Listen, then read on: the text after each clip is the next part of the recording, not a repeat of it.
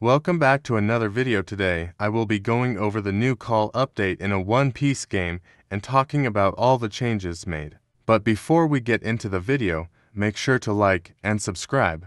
Since most of you are not even subscribed so click that subscribe button. It will motivate me to make great videos and help my channel grow, so it would be very much appreciated. Anyways, with that out the way, let's get back into the video. So, before I go into all the changes in this update, I have to give some channel announcements. So, it's been like almost a week of me not uploading, and the reason for this is because I have gotten really ill and finally started feeling better. Anyways, my plan for tomorrow to make the fruit build I promised everyone before in a channel polls uh, that is all I have to say. Okay, now I'm going to go over everything changed in the QOL update. Also, if people don't know what a QOL update is, it stands for quality of life, which means an update for the game to improve the quality of the game, which a One Piece game need quite a lot. There is now an auto spin option in the spinning GUI.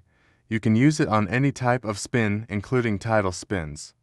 This automatically pauses when it lands on a red title or a mythic title there is a new item called World Call.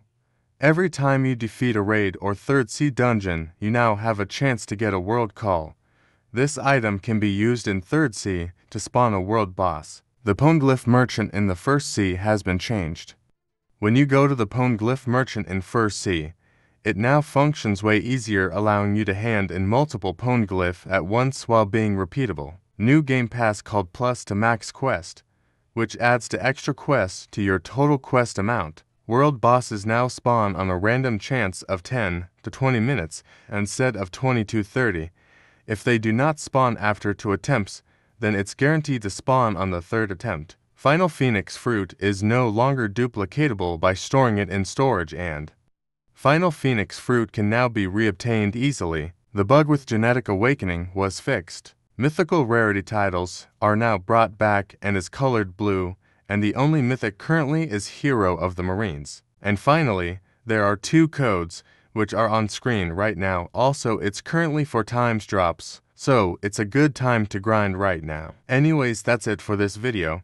I will be uploading the fruit build video, most likely tomorrow, on the day after, depending on how long it takes to make. Thanks for watching, make sure to like and subscribe, and I will see you in the next one.